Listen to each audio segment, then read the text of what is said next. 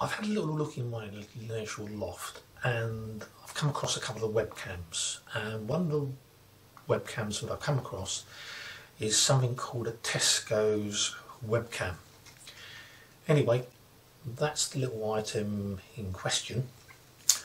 Now looking at the CD, um, it says it will work with Windows 98 going all the way up to Windows Vista.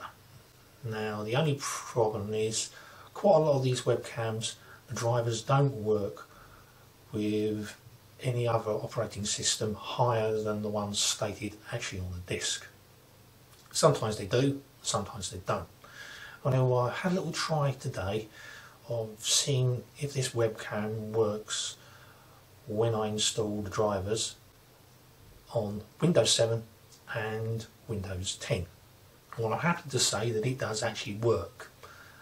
The drivers work with Windows 10, Windows 10 is quite happy with it and Windows 7 is quite happy with it. Both versions of Windows are the 64-bit operating system so they should work in theory with the 32-bit operating system of Windows 7 and Windows 10.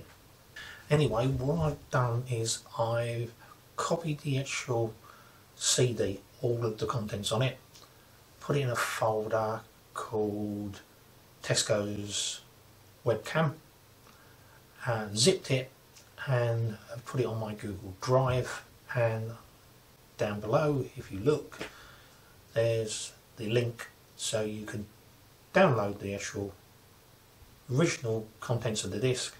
Now you've got two choices, unzip it, run it from the unzipped file which you've made, or you could burn the contents of the zip file to a CD. Hope you find that useful. Uh, please comment on below. Goodbye for now.